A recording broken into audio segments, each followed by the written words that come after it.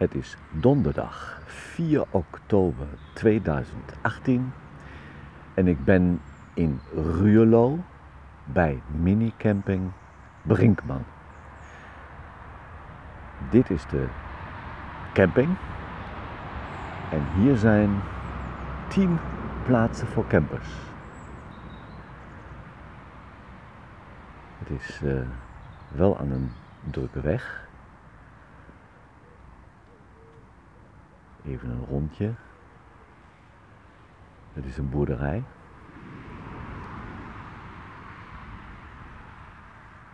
En ik zal even naar het sanitair gebouw lopen.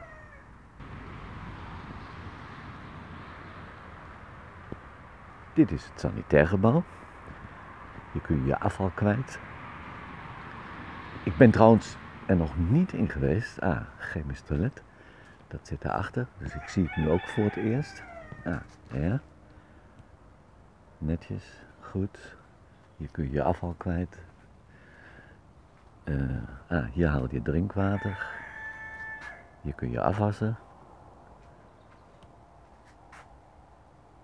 Waarschijnlijk staat hier ook de wifi-code, die heb ik straks nodig. Ah, daar staat hij. Ja, oké. En dit, wat is dit? We gaan er even in. Dat is het toilet. En waarschijnlijk zitten hier de douches. Ja. Nou. Volgens mij niks op aan te merken wat ik zo zie. Ja. Waspakken.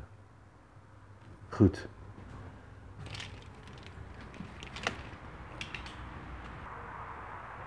Deze camping is in de winter niet geopend. Wat ik gelezen heb is dat zij op 31 oktober sluiten. In de buurt van Ruurlo. Het centrum is geloof ik 2,3 kilometer van hier. Daar ben ik uh, gisteren naartoe gegaan.